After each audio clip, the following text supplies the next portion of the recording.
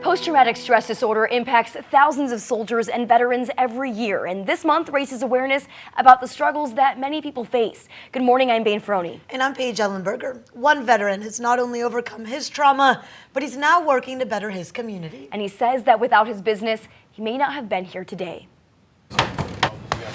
Barbecue did save my life.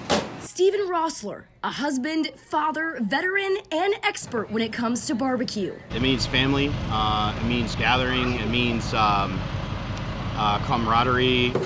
It takes me back to a time um, before the military uh, when I, I, you know, it was uh, just a child. Just you know, it just it just means so much to me. Rossler learned the ins and outs of cooking when he was just a kid, when his dad would barbecue every Sunday. He instilled you know, the basics in me, and that's what allowed me to get better anyways. When Rossler was serving in the military, he brought his skills with him, spreading his love of barbecue. All the single soldiers we'd get together and, you know, we'd just barbecue and sit around and, you know, we'd get done with a field or, or, you know, whatever exercises we had or deployment. But Rossler experienced trauma overseas, both physically and emotionally, which eventually turned into PTSD.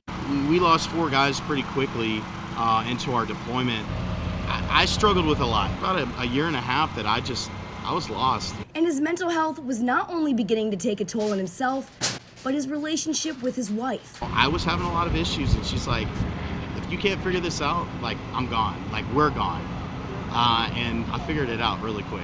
It was then that he knew he needed to seek professional help and put his energy into the one thing that helps bring him peace.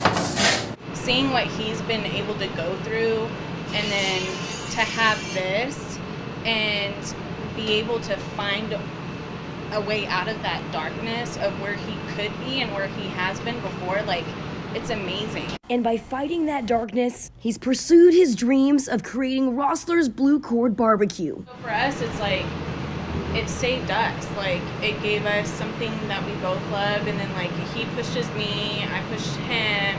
And while some days Rossler still struggles, he knows that by doing what he loves, he's honoring the soldiers that never made it home. I get to show love and support to them.